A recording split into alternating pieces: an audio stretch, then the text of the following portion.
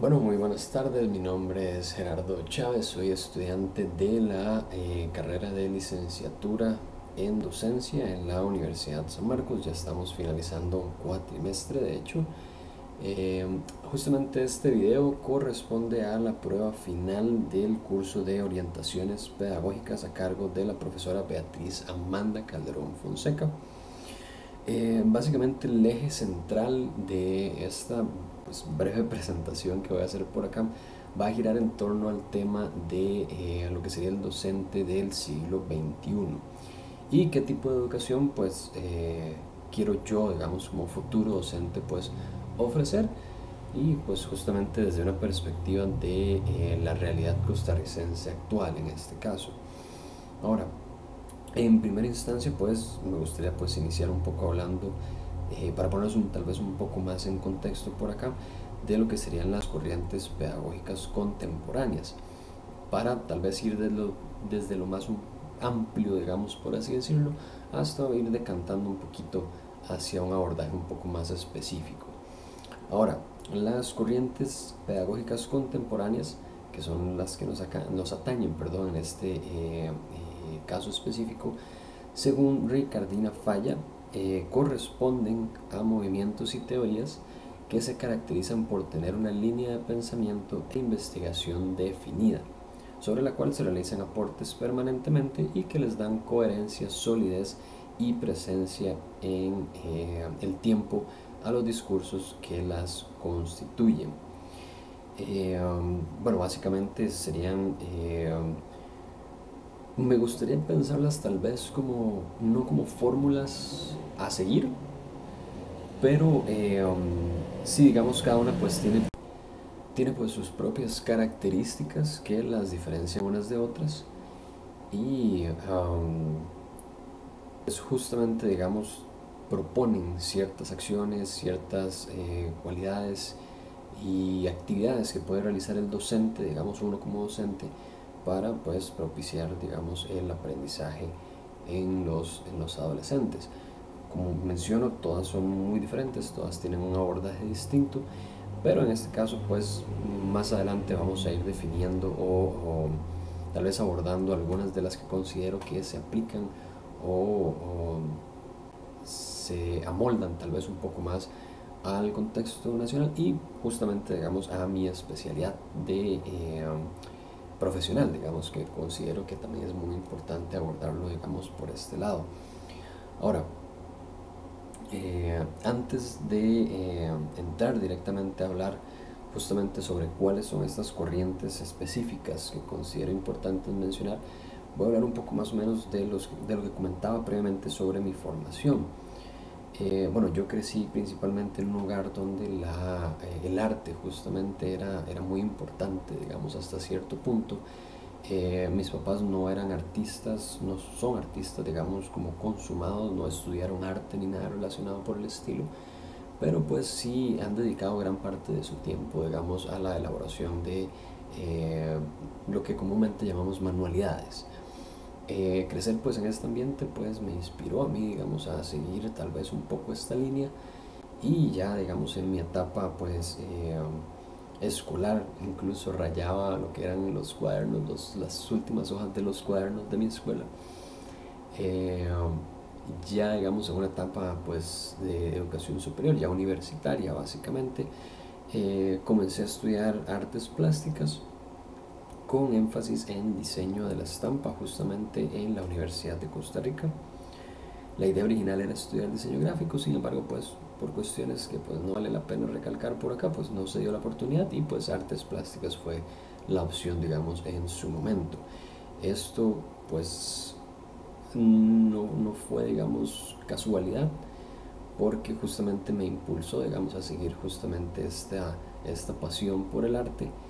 y es pues lo que me trajo digamos acá a donde estamos ahorita en este en esta carrera de, licenciatura en docencia donde pues justamente trato de que eventualmente si logro digamos eh, desempeñarme como profesor en algún momento pues eh, ayudar a mis alumnos digamos a perseguir eh, y seguir esa digamos pasión por, por el arte. Tratar de despertar en ellos esa, esa espinita que los haga eh, um, más creativos, digamos, y que pues sepan que el arte es sumamente pues eh, liberador, digamos, que traten de, iniciar ese viaje de autodescubrimiento y dirigir pues su pasión, digamos, a este, a este mundo artístico, digamos, si se quiere poner de alguna manera. Ahora, ya habiendo dicho esto, este pequeño preámbulo por acá, ya entrando un poco más, digamos, en, en materia de lo que nos atañe, hay dos corrientes pedagógicas de las múltiples, digamos, que hay en este caso, eh, pero justamente hay dos sobre las que me gustaría hacer eh, eh, énfasis o hincapié, digamos, en este caso. Justamente me refiero a la que sería la escuela nueva, más específicamente la que sería la propuesta de María Montessori y la teoría de Waldorf, justamente. En primera instancia, pues, como ya mencionaba, tenemos la teoría o la propuesta de María Montessori que me llama mucho la atención en este caso eh, hablando, digamos, en este contexto de educación eh, artística, digamos, para eh, ir ligando tal vez un poco, atando cabos, tal vez un poquito por acá, justamente de esta libertad, digamos, que ella mencionaba que se le podía proporcionar, digamos, al estudiante para que autoaprendiera, digamos, muy entre comillas, digamos, para que el estudiante autoaprendiera pues cambiando tal vez un poco los, los materiales, digamos, que usualmente se le puede proporcionar a un estudiante y saliéndose un poco, digamos, de lo que se consideraba pues una educación eh, un poco más, más cuadrada, digamos, más estricta, entre comillas, hasta cierto punto. Entonces, brindarle al estudiante pues esta, esta eh, suerte de libertad, digamos, creativa, si fuera el caso, digamos, llamarlo de alguna manera. Ahora, con esta libertad justamente me refiero a que el estudiante pues sea libre de elegir, por ejemplo, eh, a la hora de realizar un ejercicio o un proyecto artístico, eh, que él decida, digamos, cómo desea abordarlo, con qué materiales, sobre qué superficies, con qué intención justamente el estudiante puede abordarlo, para que así justamente aprenda por su cuenta y eh, um, aprenda, digamos, sobre el manejo de los distintos elementos, de los utensilios eh, de las distintas superficies de trabajo y pues los materiales justamente con los que puede eh, um, crear, digamos, arte, si fuera el caso. Por otro lado, como ya mencioné también, está la teoría de Waldorf justamente. siento también que está muy estrechamente relacionada de cierta forma con, con la teoría o las propuestas de la escuela nueva justamente. Y me llama también mucho la atención esto específicamente, ya que um, se menciona también que parte de su eh, intención era justamente pues impulsar o eh, um, ayudar digamos de alguna manera al estudiante a que eh, um, explotara tal vez un poco su imaginación, digamos, su creatividad, estimularlas, digamos, era la palabra justamente que estaba buscando, y dejando de lado aquellas eh, formas tradicionales de educación, aquella educación eh, que ya mencionaba como algo cuadrada, digamos, en la que un estudiante simple y llanamente pues se sentaba en un salón de clases a recibir lecciones y pues el profesor básicamente chorreaba, por decirlo de una manera muy coloquial, pues la información. Eh, esperando digamos a que ellos lo memorizaran, lo interiorizaban y pues ya esto se evaluaba y um, y ya, básicamente en eso consistía, y lo cual pues usualmente o tal vez no, no era como la forma más adecuada, ya que eh, el estudiante tal vez eh, no memorizaba, digamos, como, como una finalidad perdón, de vida, digamos, sino memorizaba nada más como para el momento, como para el, punto eh, o el momento, digamos, de la evaluación como tal, y posterior a la evaluación, pues muy probablemente esa información pues era pues olvidada, digamos, hasta cierto punto.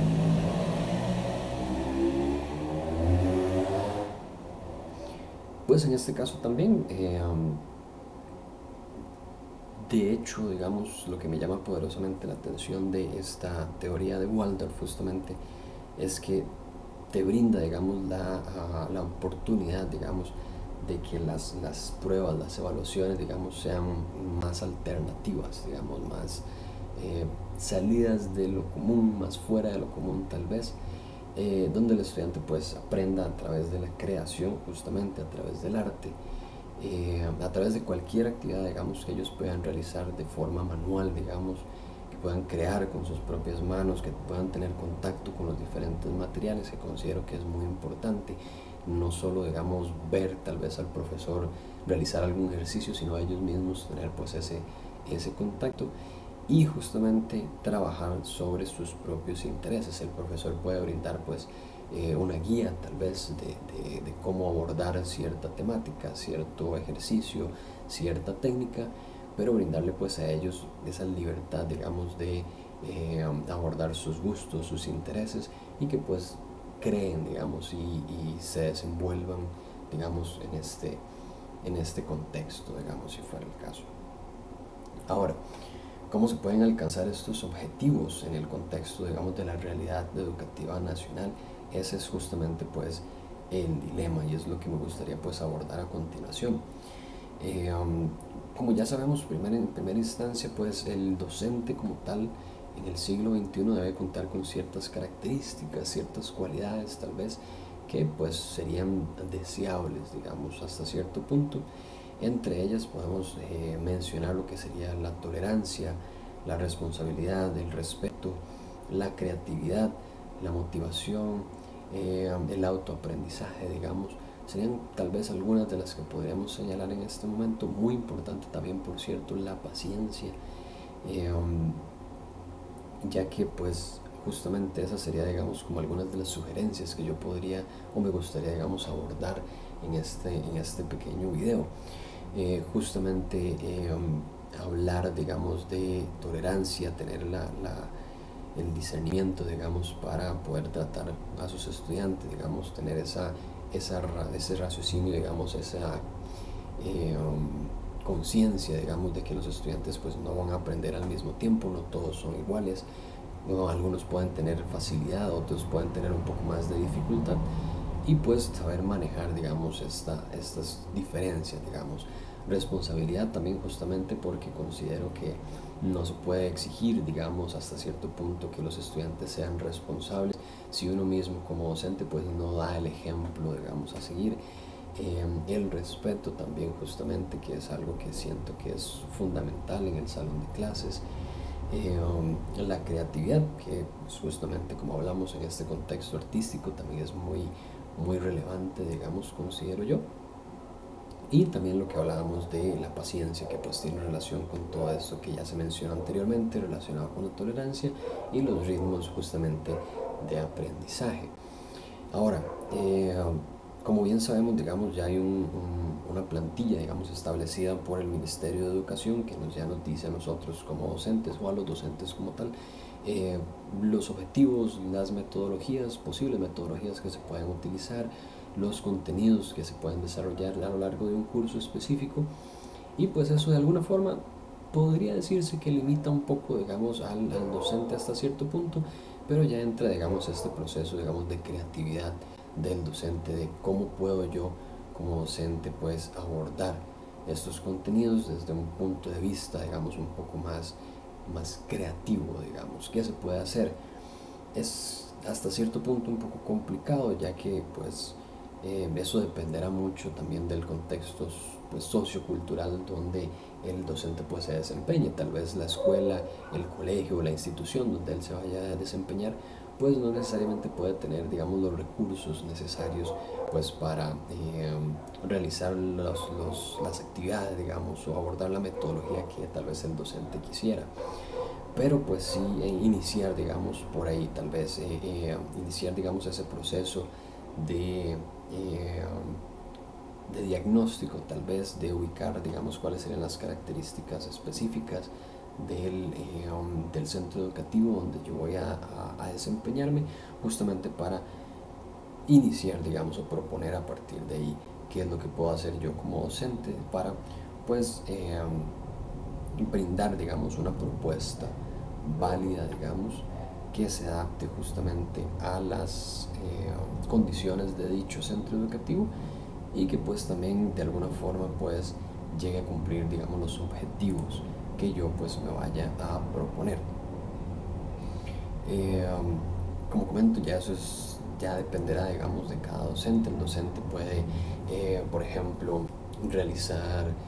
eh, algún tipo de entrevista, digamos, a los estudiantes para ver um, cuál es su contexto, cuál es su realidad inmediata. con esto el docente podrá determinar, digamos, si va a solicitar materiales, qué tipo de materiales puede solicitar,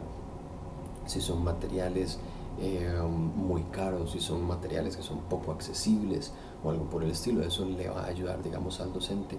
o le va a ayudar a usted también como docente, digamos, a, abordar de una mejor manera la,